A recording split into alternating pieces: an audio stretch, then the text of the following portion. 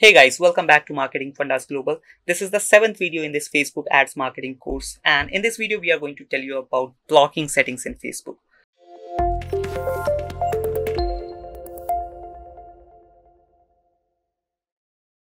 So whether you want to block a particular person so that they cannot interact with your page or your profile, or you want to block any particular messages or any notification, or whether you want to block any pages.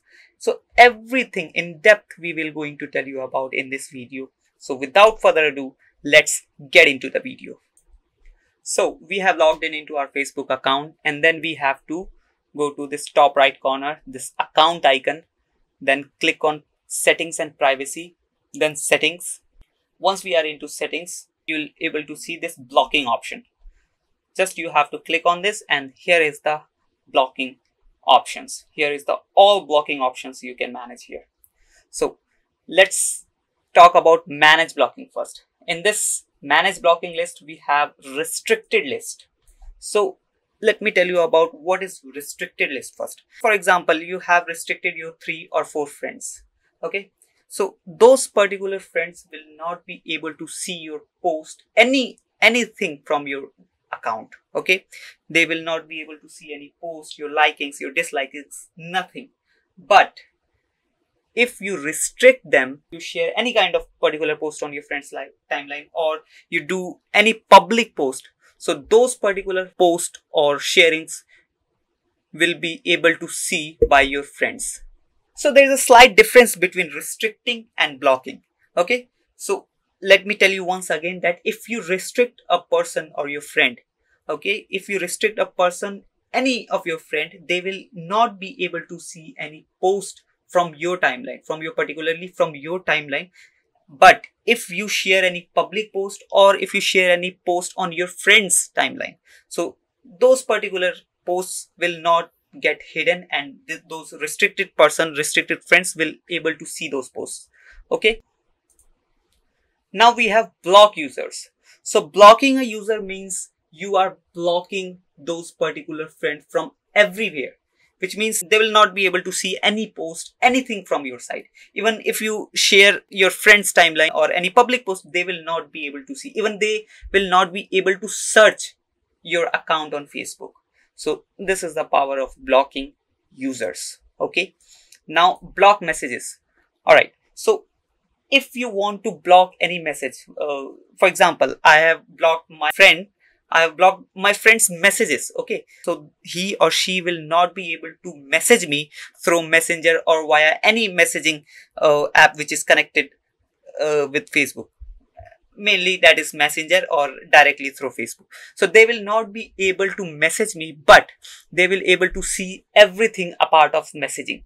Like my comments my posts and everything. They will be able to tag me they will able to comment me everything except messaging. Okay? Now we have block app invites. So sometimes we get many kind of app install invite invitations right? Through messenger through facebook as we know that facebook is a platform that runs on ads okay? So we get many kind of app invites which we don't want to install. So those if you want to uh, block those kind of invitations you can do so with this edit button. You just have to edit and you will able to block all those uh, app invitations okay? Now we have block event invitations.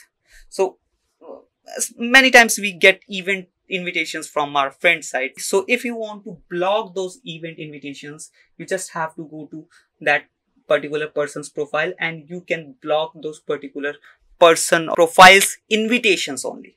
So everything will be normal, just they will not be able to invite you. They will not be able to send you an invitation through Facebook. Just that's it. Now we have blog apps. So many times we sign in through Facebook or sometimes we give information through Facebook.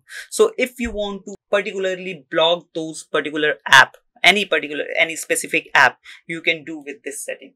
And once you block that particular app, that app will not be able to log in with your Facebook account, with your Facebook information or anything else okay? So if you want to specifically block any particular app you can do it with this setting. Now this is the sim- one of the simplest setting that is block pages. If you want to block any particular page that you don't like or that is not useful for you you can do it with just click on edit button and then you can block that particular page. So it was all about blocking settings in facebook and in the next video we'll tell you about more facebook settings. So stay tuned with our video playlist and stay connected. Hit that subscribe button and we'll meet you. We'll get you soon in the next video.